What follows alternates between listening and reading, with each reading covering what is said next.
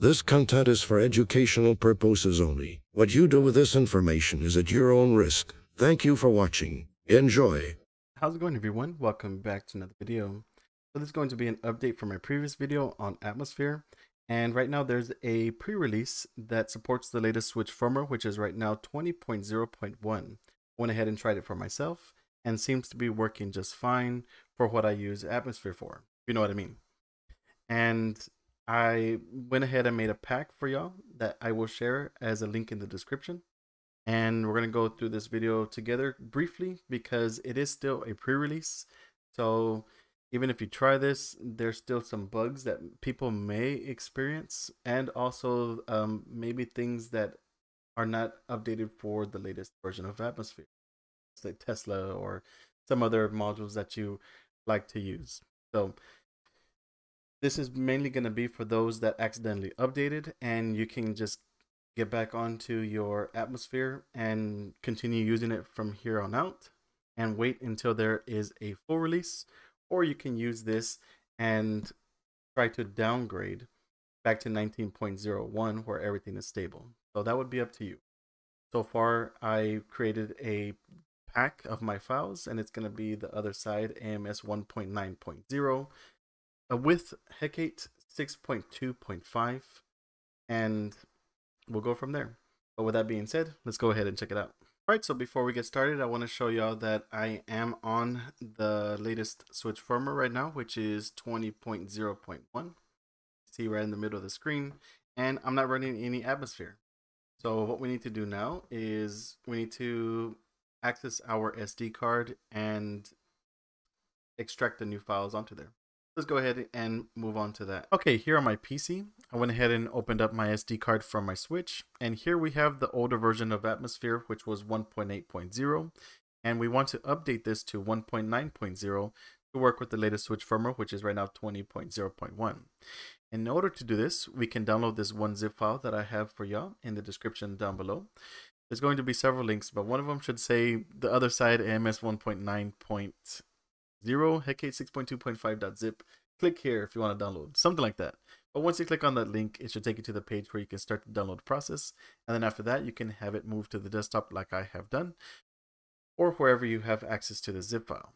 But once you download it, we can go back to the SD card. And here in this part, I like to delete the atmosphere and bootloader because this minimizes a lot of issues when we're trying to update atmosphere. Now, I know a lot of people don't like doing that, but like I said, it minimizes a lot of issues. With that being said, if you delete the atmosphere folder, um, inside the contents folder in atmosphere is where you probably have uh, cheats for games or other types of, files, maybe some sys modules that uh, will probably not work with atmosphere. So it's best to take them out. So take everything out of the contents folder or whatever you would like to save.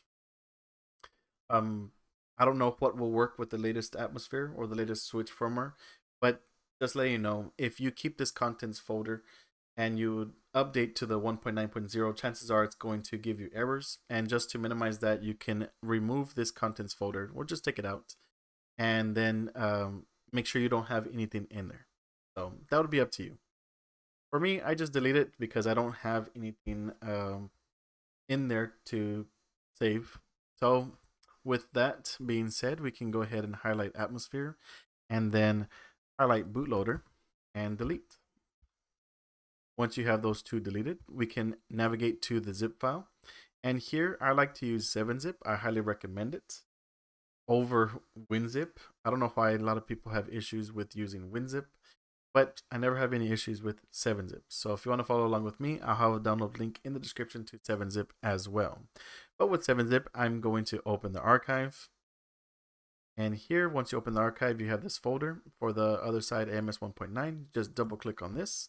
And here you have access to the folders uh, and files for the update of Atmosphere 1.9.0. Now, the most important files are or folders are the Atmosphere and bootloader. So it's okay to highlight all of the other files and copy and replace. But we're going to highlight everything right now and then extract to the root or this empty space of your SD card. So when I ask you if you have so many files with the same names, just go ahead and replace them. Because the most important ones is the atmosphere and bootloader. But that's pretty much it. Once you have uh, extracted the new files to your SD card, you should be updated and good to go. Went ahead and, and left the Fusee uh, bin file in here just in case you want to use it for some unknown reason.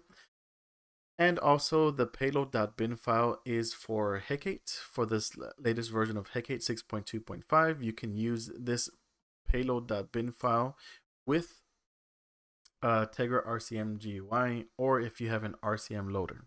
So that would be up to you.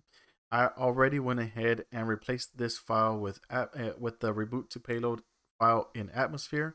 So that way when you uh, reboot to payload on the homebrew menu, it will take you back into Hekate. So with that, everything should be okay. I also added a host file right here, and this should block any type of communication. And just in case you're wondering, and you are not able to access any online features, which you shouldn't, but if you try to, it should fail. So this should also help you with accidentally failing. But we are done with the SD card. We can go ahead and try it out. I'm gonna eject out my SD card, put it back in the switch, and let's see if we can um, boot into Atmosphere. Okay, so after you inject into Hekate, it should show up like this. You may have another screen that says change your date and time, but once you do that, it's a one-time thing. But here on the top, it should say 6.2.5, and all you need to do is go into the bunch. You're gonna have all these options here. The first one is OFW with no atmosphere. The second one is atmosphere running with Fuse. The third one is atmosphere running on EMC Fusee. The other last two are running with FSO and FSO team. So whichever one you were using before, be able to pick that one. But I always use this uh, second one. I don't have any EMC. See if it boots up. Alright, so we made it back onto the switch and I did not have any errors after booting into Atmosphere. I hope you didn't either, but of course if you did, you can leave a comment down below and I'll try and help you out as best I can. But here on the home menu, we can check to see if we are updated with the latest atmosphere on the latest switch firmware by going into system settings, going all the way down to system. And here under system update, I am on the latest switch firmware right now, which is 20.0.1, running atmosphere 1.9.0. And I have an S because I'm using my atmosphere on sysNAND. If you have an E, you're using yours on EMU MMC. Now in this pack, I did not add the exosphere. A lot of people have issues when I add that, and I don't know why. It doesn't happen like that to me. But I did add those uh, host files that won't allow you to accidentally update or access any time. So um, that's pretty much it. A good way to test this is um, if you can access any type of folder, that's a pretty good sign that everything seems to be. So I have this custom made one uh, from the channel, and if I enter it, I should not have any. So there we go. Everything seems to be working just fine. And of course, if you're interested in this uh, forwarder, you can leave a comment down below and I can try and help you. I did not add it in the pack for obvious reason, but it's working for me, and that's usually a good sign that everything else is working as well. So that's pretty much it. Everything is working for me here. I hope everything works for you as well. Of course, when there is the full release, I will be updating my packs uh, more appropriately. I'll be adding them to my GitHub page. That way, those of you that use the AIO Updater app can um, safely update if you like. I will also upload my uh, 20.0.1 firmware so that way those of you that want to safely update to it when everything is okay can go ahead and do that. But right now, if like you can use my AIO updater to download the 19.0.1 and use the Daybreak here in Atmosphere and downgrade. But just keep in mind that downgrading sometimes is a big risk.